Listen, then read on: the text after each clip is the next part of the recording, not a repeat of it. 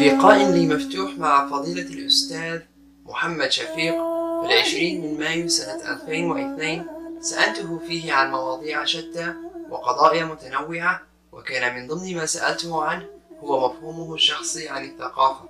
فكان جوابه؟ مفهوم الثقافة في ذهني هو المفهوم الأنثروبولوجي يعني المفهوم العام لا المفهوم الأدبي والشعري. المفهوم العام للثقافة. أي كل ما هو غير مادي وهو من الرموز ومن التصرفات ومن العادات ومن التقاليد ومن الآراء إلى آخره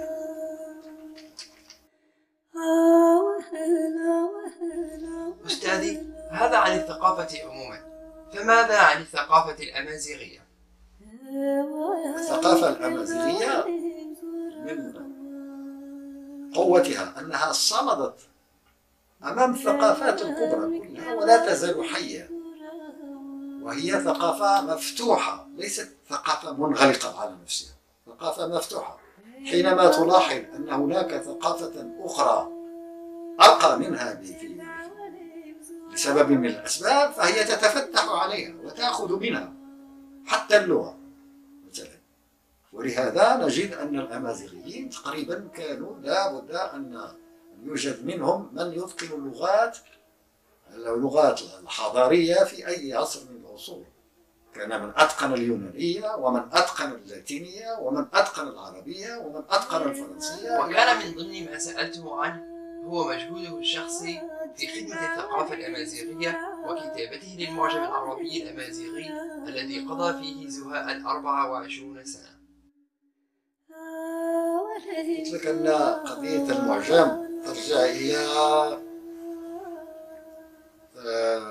اهتمامي بالثقافة الأمازيغية بصفة عامة في أوائل الستينات حينما لاحظت أن الدولة غير مهتمة بالثقافة الأمازيغية وهي تهملها وتحتقرها وربما. فكتبت في أوائل الستينات بعض المقالات. كتبت بعض المقالات بعنوان عام اسمه هذا العنوان هو التراث المجهول. وهذه المقالات صدرت في مجلة مجلة الكتاب المغاربة. اسمها هذه المجلة اسمها آفاق في ذلك الوقت. صدرت أربع مقالات أو خمس مقالات أو ستة مقالات في الموضوع. ثم بعد ذلك آه، بسنوات أخذت أفكر في هذه الثقافة الأمازيغية. ولاحظ أنها في سبيل الاندثار يعني في سبيل الزوال. وفي أوائل السبعينات أخذت أفكر في جمع الكلمات الأمازيغية في جمع المفردات الأمازيغية لأضعها في قاموس معين. وفي السنة سبعة سنة 73 بالضبط شرعت في تدوين المعجم.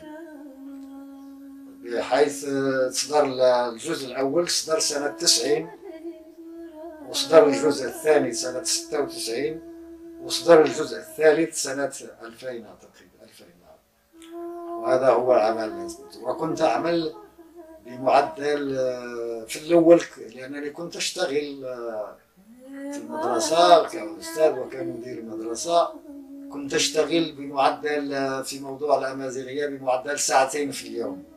ولكن حينما تقاعدت تقاعدت يعني تقاعد كنت أعمل بمعدل ست ساعات في اليوم في موضوع الأمازيغ سألته عن الحوافز التي دفعته لبذل المجهود الذي يبذل.